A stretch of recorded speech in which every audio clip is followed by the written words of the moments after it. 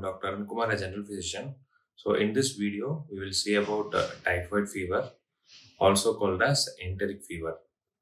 Typhoid fever is caused by a bacteria called as Salmonella typhi and its subtypes. So, majority of the spread happens through contaminated food and water.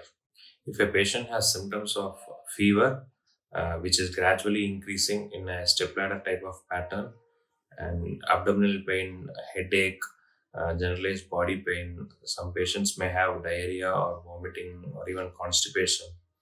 In some patients, we see a pink spot or rashes that helps in suspecting typhoid and diagnosis. Though typhoid is a easily treatable disease, delayed diagnosis can lead to life-threatening complications. Coming to diagnosis, we have uh, blood investigations, complete blood count, to look out for WBC and other parameters. We have Widal test and culture to confirm the diagnosis. A Widal test of titer 1 in 160 or 1 in 330 strongly suggests of a typhoid infection.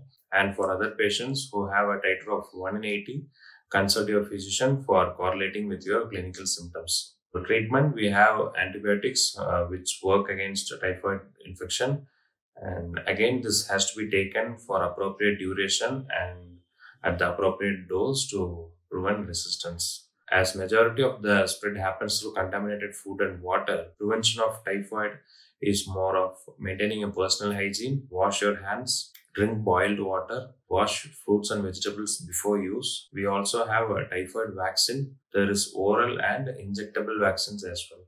Thank you